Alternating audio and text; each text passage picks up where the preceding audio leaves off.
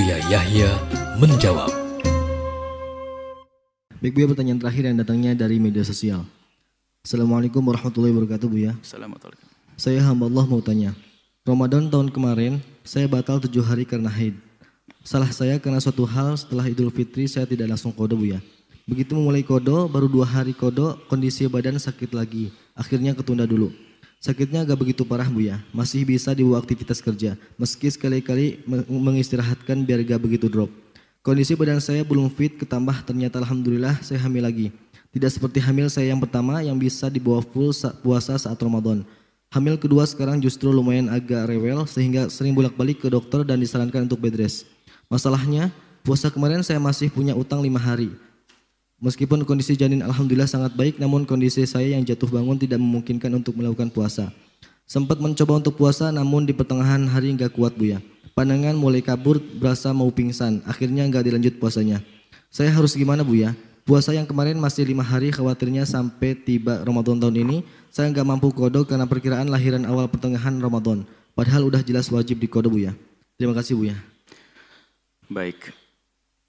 Termasuk mohon semuanya kembali kepada fikih praktis kami yang sengaja kami sederhanakan untuk mudah difahami sekaligus mudah dihafal.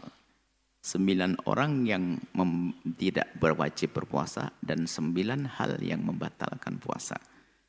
Salah satu di antaranya adalah orang yang boleh berbuka puasa adalah karena sakit. Orang sakit tidak wajib berpuasa. Sakit yang membahayakannya jika ia berpuasa atau memberatkannya di saat dia berpuasa. Menurut dokter atau pengamalan pengalaman pribadinya. Kalau dia puasa kunang-kunang malam, mas nggak wajib puasa bagi dia. Baik. Kemudian siap ada lagi orang haid dan sebagainya.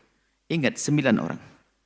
Kalau ada orang yang berbuka puasa karena sakit, sakit bukan dia yang minta. Allah kasih sakit.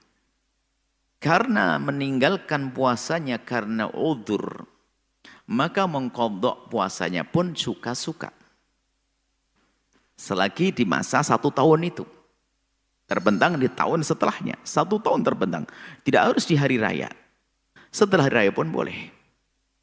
Baik. Jika ternyata dia masuki di hari raya, dia tertimpa udur yang lain lagi. Sakit lagi sampai Ramadan. Maka dia punya utang saja tujuh hari tadi atau lima hari. Dan dia tidak kena apa pun tidak harus bayar fidyah. Karena apa? Di waktu yang ia harus membayar kodok, tapi dia juga sakit. Kecuali Anda terbukti lima hari yang Anda sehat tapi Anda tidak puasa. Di sepanjang tahun itu Anda sadar ada lima hari. Anda yang saat itu sehat benar cuman Anda tidak berpuasa. Maka karena ada waktu Anda untuk mengkodok puasa dan Anda tidak mengkodok puasa. Karena inilah Anda membayar.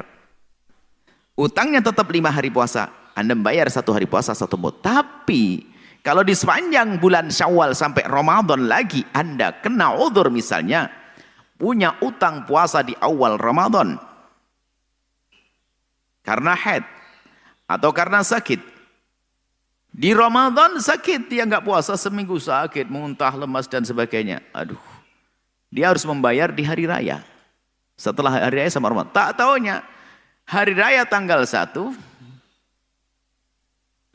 dia pengen pengen mengkodok. Rupanya males juga mulai nggak enak lemes lemes.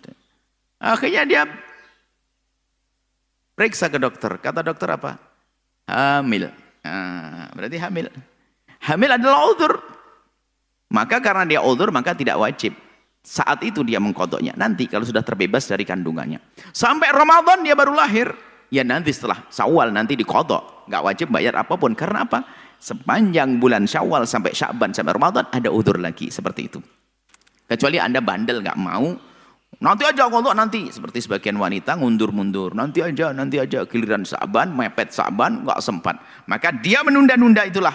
Maka kalau masuk Ramadan lagi utangnya masih belum dibayar, maka dia harus membayar utangnya sesuai dengan bilangan harinya plus dia harus membayar setiap hari membayar satu mud enam on dikasihkan kepada 6,7 on dikasihkan kepada fakir dan miskin ini saja Allah alam bisawab.